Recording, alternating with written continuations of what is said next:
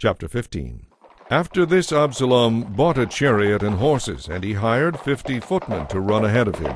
He got up early every morning and went out to the gate of the city. When people brought a case to the king for judgment, Absalom would ask where they were from, and they would tell him their tribe. Then Absalom would say, You've really got a strong case here. It's too bad the king doesn't have anyone to hear it. I wish I were the judge. Then people could bring their problems to me, and I would give them justice. And when people tried to bow before him, Absalom wouldn't let them. Instead, he took them by the hand and embraced them.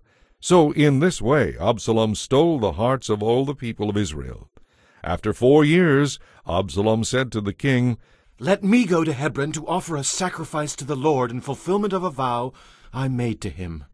For while I was at Geshur, I promised to sacrifice to him in Hebron if he would bring me back to Jerusalem. All right, the king told him, go and fulfill your vow. So Absalom went to Hebron. But while he was there, he sent secret messengers to every part of Israel to stir up a rebellion against the king.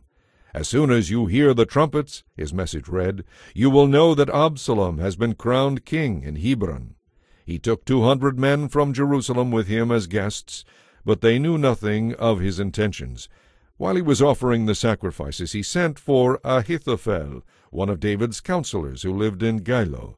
Soon many others also joined Absalom, and the conspiracy gained momentum. A messenger soon arrived in Jerusalem to tell King David, All Israel has joined Absalom in a conspiracy against you. Then we must flee at once, or it will be too late. David urged his men. Hurry! If we get out of the city before he arrives, both we and the city of Jerusalem will be spared from disaster. And we are with you, his advisers replied. Do what you think is best. So the king and his household set out at once. He left no one behind except ten of his concubines to keep the palace in order. The king and his people set out on foot, and they paused at the edge of the city to let David's troops move past to lead the way. There were six hundred Gittites who had come with David from Gath along with the king's bodyguard. Then the king turned to Ittai, the captain of the Gittites, and asked, Why are you coming with us? Go on back with your men to King Absalom, for you are a guest in Israel, a foreigner in exile.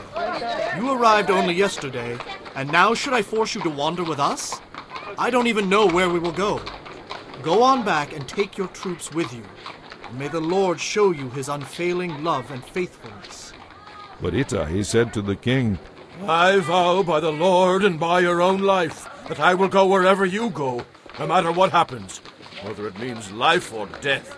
David replied, All right, come with us. So Ittai and his six hundred men and their families went along. There was deep sadness throughout the land as the king and his followers passed by. They crossed the Kidron valley and then went out toward the wilderness.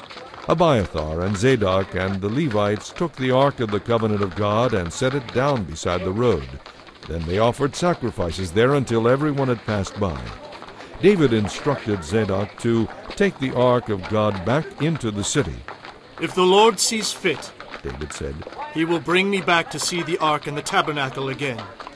But if he is through with me, then let him do what seems best to him. Then the king told Zadok the priest, Look, here is my plan. You and Abiathar should return quietly to the city with your son Ahimaaz and Abiathar's son Jonathan. I will stop at the shallows of the Jordan River and wait there for a message from you. Let me know what happens in Jerusalem before I disappear into the wilderness. So Zadok and Abiathar took the ark of God back to the city and stayed there. David walked up the road that led to the Mount of Olives, weeping as he went. His head was covered and his feet were bare as a sign of mourning, and the people who were with him covered their heads and wept as they climbed the mountain. When someone told David that his adviser Ahithophel was now backing Absalom, David prayed, O Lord, let Ahithophel give Absalom foolish advice. As they reached the spot at the top of the Mount of Olives where people worshiped God, David found Hushai the Archite waiting for him. Hushai had torn his clothing and put dirt on his head as a sign of mourning.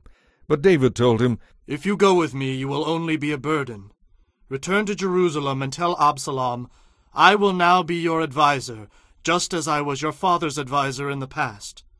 Then you can frustrate and counter Ahithophel's advice.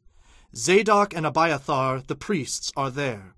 Tell them the plans that are being made to capture me, and they will send their sons Ahimaaz and Jonathan to find me and tell me what is going on. So David's friend Hushai returned to Jerusalem, getting there just as Absalom arrived.